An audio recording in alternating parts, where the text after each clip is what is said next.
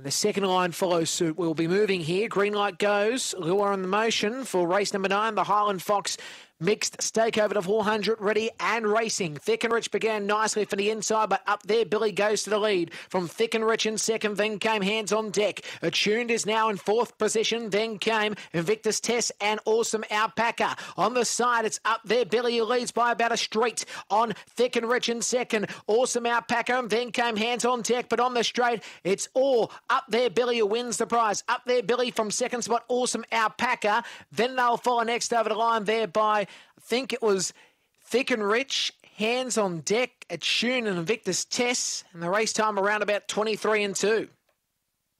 So 23 and 2 there. And it will be four who wins up there, Billy. We get confirmation for the minor placings here. Awesome Alpaca second. That's the five. So four, five, and one. Thick and Rich will get third. So four, five, one and seven for fourth. So that is the situation there. Four, five, one, and seven. Four, five, one, and seven. And it will be seven and a quarter by one length. And 1084 the section. 1080.